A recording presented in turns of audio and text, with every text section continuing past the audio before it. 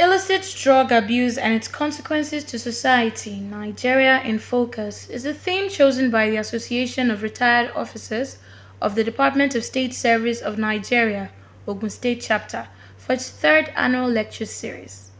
The conference touched on the disadvantages of drug abuse and the gravity of the decadence it has brought to society. The chairman of the event and OC of Egbaland, Chief Bode Mustafa, appreciates the association for putting the conference together. When it was cocaine or heroin, they could be treated.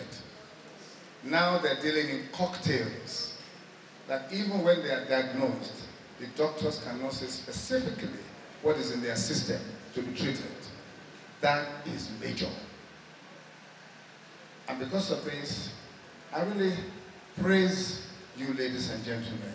The keynote speaker said abuse of drugs has ruined the lives of many young Nigerians, destroyed families, and truncated the growth of the nation's economy. The effect of drug use, it affects individuals, affects families, affects the community, affects the nation abroad. And when we're looking at individuals, the person its, its mental health is going to be compromised, its physical health is going to be compromised. In terms of functioning, it will not be able to function effectively. Even though we retire, we should find a means to reach people so that the menace can be curtailed.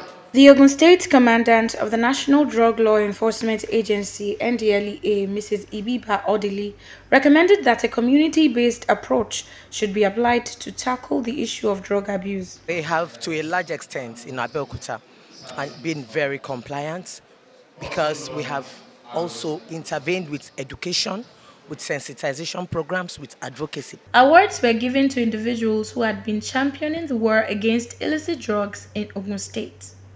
In Abeokuta, Oyinkansola Odelade, NTA News.